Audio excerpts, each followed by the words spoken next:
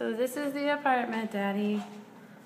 There's all these closets. There's like more closets than you can shake a stick at. These people are obsessed with closets.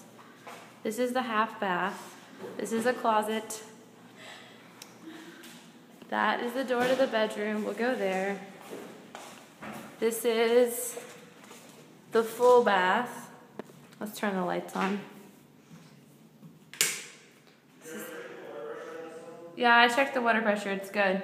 This is the full bath. This is the this is another closet. This is another closet. This is the bedroom. If it's a queen size bed. We're at this appointment around four o'clock. Um, it is west facing, that is true. But it's very bright and sunny.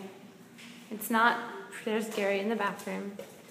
It's not pre-war, but it has some nods. It's our real estate person.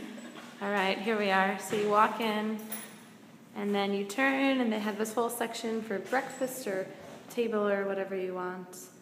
And then if you come around, so the living room is shaped sort of like an L, so I'm on the short part of the L. And then this is the kitchen. So the kitchen is a south-facing view. So that's the FiDi down there. Yes, this is the kitchen.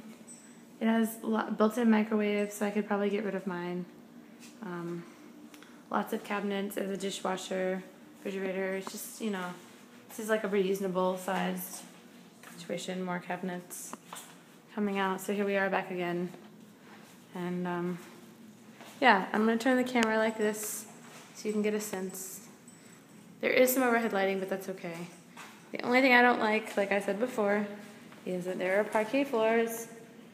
But, you know, apparently every apartment in New York has parquet floors. And this, this is the central air to prove to you that I asked for central air. This is it. It's right there. And this is Gary.